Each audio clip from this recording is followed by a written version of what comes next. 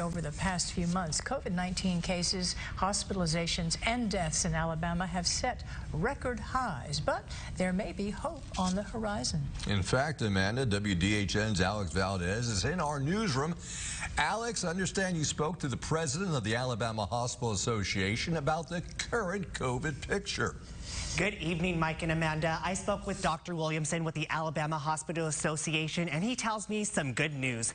But he says this will only be confirmed when the numbers from Labor Day, which was a big football weekend, come in.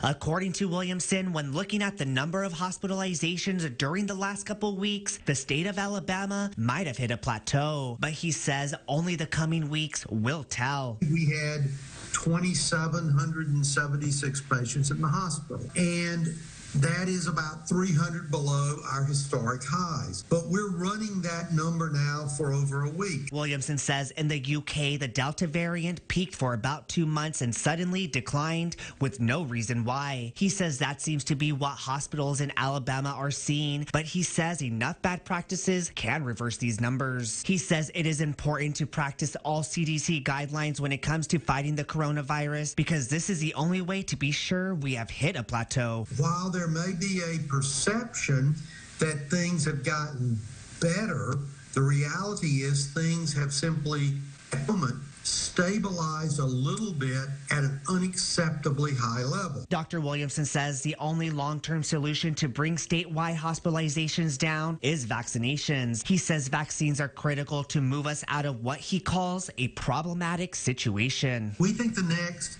two weeks uh, or 10 days are going to be critical in telling us if this if we've reached a plateau and it's going to stay there and begin to improve or if this is simply a pause before our numbers go even higher.